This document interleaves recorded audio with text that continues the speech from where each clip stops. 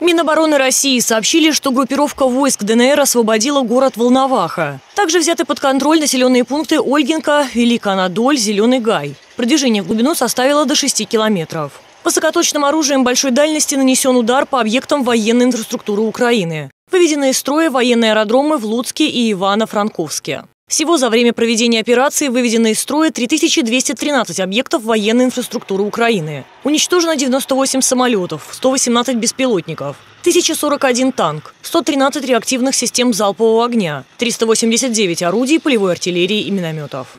Владимир Путин провел совещание с постоянными членами Совбеза. Президент согласился с предложением Шойгу привлекать добровольцев для помощи жителям Донбасса. Шойгу сообщил, что из стран Ближнего Востока готовы приехать более 16 тысяч человек.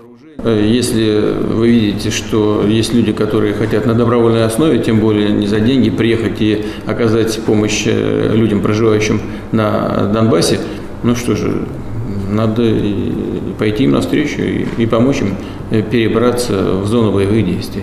Москве также состоялась встреча Путина и Лукашенко. Российский лидер заявил, что в переговорах с Украиной есть определенные позитивные сдвиги. Также Путин отметил, что СССР всегда жил в условиях санкций и добивался успеха. Активно в России сейчас обсуждается возможный дефолт. Мнения и экспертов, и политиков по этому вопросу разделились. Одни говорят, что такой исход не представляется невероятным. Другие же, что дефолта в нашей стране не будет. Про авиацию.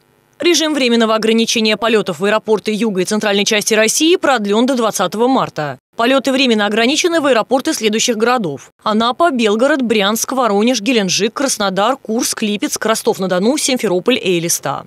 Новости о военной операции на Украине появляются чуть ли не каждую минуту. Самая оперативная информация в материале на сайте orsk.ru под названием «Военная операция на Украине онлайн». А еще быстрее все появляется в нашем телеграм-канале. Сканируйте QR-код и присоединяйтесь. Маргарита Шкарабурова, служба информации телерадиокомпания «Евразия».